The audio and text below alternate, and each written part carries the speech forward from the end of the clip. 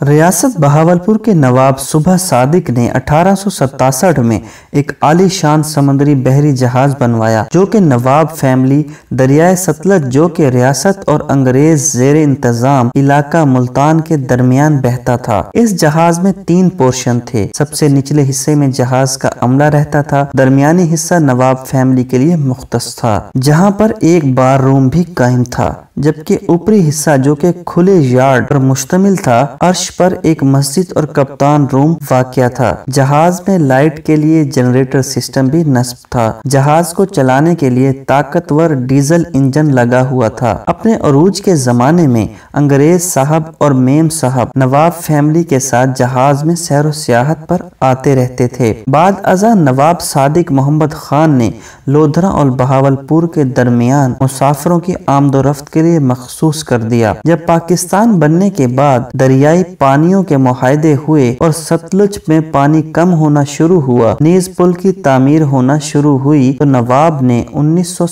में इसे गाजी घाट पर भेज दिया, जहाँ पर यह डेरा गाजी खान और मुजफ्फरगढ़ के दरमियान मुसाफरों की आमदोरफ्त के लिए इस्तेमाल होता रहा। हम पानी के तेज बहाव के पेश नज़र इसको नवाब साहब ने ख्वाजा गुलाम फरीद की खिदमत में पेश कर दिया, जहाँ पर ये चाचड़ा शरीफ और कोट मिठन शरीफ के दरमियान कीदतमंदों और दीगर मुसाफरों की बार बरदारी के लिए इस्तेमाल होता रहा, जिसे कादिर बख्श नामी मल्लाह, जो के महकमा हाईवे का मुलाजिम भी था, चलाता था। सर्दियों में दरियाए सतलज में पानी कम हो जाता और कश्तियों का पुल डालकर आमदोरफ्त के रास्ता बनाया जाता तो इस जहाज़ की मुरम्मत भी कर दी जाती। दरियाए सिंध, जिसको इंडस रिवर भी कहा जाता है, में चलने की वजह से इसका नाम सतलज कोइन से तब्दील करके इंडस कोइन रख दिया गया। उन्नीस सौ अट्ठानवे तक ये जहाज़ दरियाए सिंध में चलता रहा। बाद में जब बेनजीर पुल चालू हुआ तो इस पर लोगों की आमदोरफ्त भी कम होती चली गई और बाद अजा इसको बंद करके राजनपुर और कोट मिठन के दरमियान पुल से जरा दूर करके लंगर अंदाज कर दिया गया। इस तरह एक शानदार जहाज़, जिस पर 400 के लगभग लोग एक वक्त में सफ़र करते थे सफ़र अख्ताम पजीर हो गया। इसका काफ़ी सामान चोरी हो गया है। ये अपनी बेबसी की तस्वीर बना रेत में धंसा पड़ा है। अगर इसकी देखभाल ना की गई